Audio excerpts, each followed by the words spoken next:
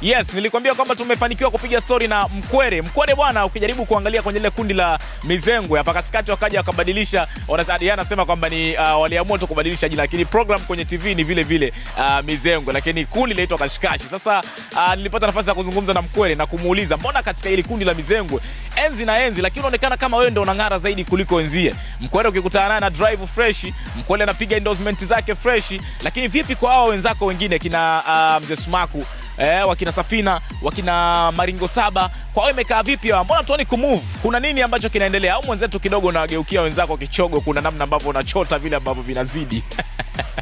Sawa bwana, tuko na Mkwele. Huyu ni legend wa tasnia ya comedy, au sio bana? Ukizungumzia kundi la Mizengwe, ikaja baadaye ikabadilishwa ikawa Kashikashi, sasa hivi imerudi tena Mizengwe. Eh, Mizengo ni kipindi, Kashikashi ndo kundi letu. Okay. Yeah, kuna vitu vili tofauti hapo. Mizengo ni kipindi. Ya. Ilikuwaje mpaka mkasema kwamba hebu ngoja tuitambulishe Kashikashi? Kwa sababu tumezoea Mizengwe na muda mrefu ilikuwa ni hivyo Mizengwe. Sasa imekuwaje ikuja kuja Kashikashi mara mara tena sasa hivi ni Mizengwe, imerudi tena ng'aa vile, yani inaeleweka sasa hivi ni Mizengwe. Kashikashi kama watu wameisahau tayari. Ah, ndio maana nikasemaje? Kipindi ndo Mizengo. Umeelewa? Kikundi na Kashikashi. Sasa huwezi kupromote jina la kikundi, lazima upromote jina la kipindi.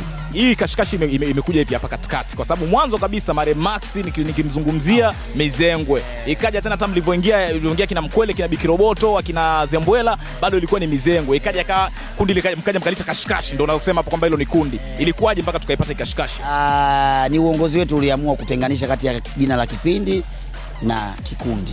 Hamna kitu hapo Ah, hakuna kitu. Ndio kweli. Zamani kama unakumbuka, ah, mizengo ilikuwa inaitwa Mizengwe ya Maxi na Zembwela.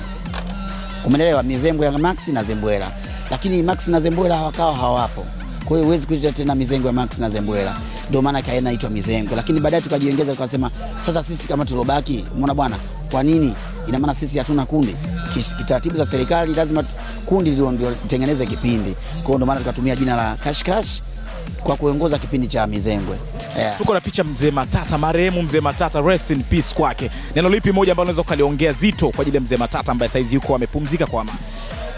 Ah, namkumbuka kwa sababu da umzee mzee bwana, nikimwangalia huyu mzee, nikimwangalia mzee Majuto, alafu nikimwangalia kamanda wangu kabisa hapa. Max, huyu ndio ananifanya mimi niitwe mkwele leo.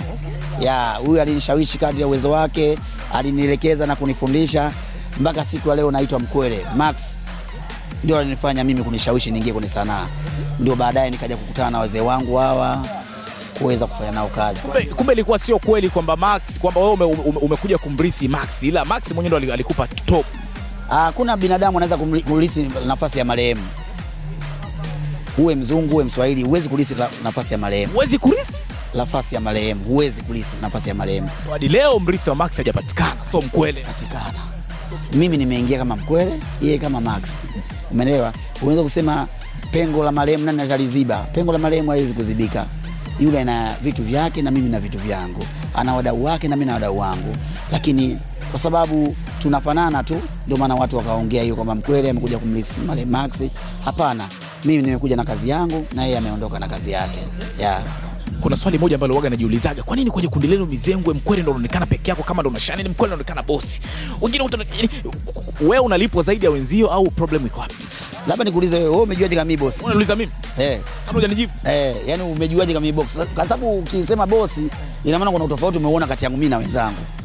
Unang'aa, una gari, kigugumizi, Ujue ah, unang'ara, una gari, mimi na maswali. una miwani mizuri, Gani gari sisi zinauzwa? Kuna wao hela. Mbona tunagawana sawa?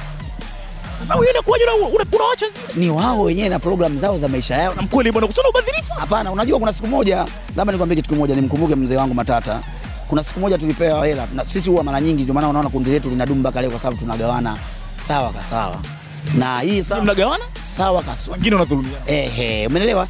Siku ambayo tumegawana hela sawa kwa sawa, tulikuwa na jambo tutakalo kulifanya. Mzee Matata nikamwambiaje, ili jambo tuliweze kufanikisha, naomba nikuwekee hela yako, imradi tulifanya. Mzee akanijibu akambea, kwa utu uzima huu hela uniwekee utoto wangu ulikopo wapi?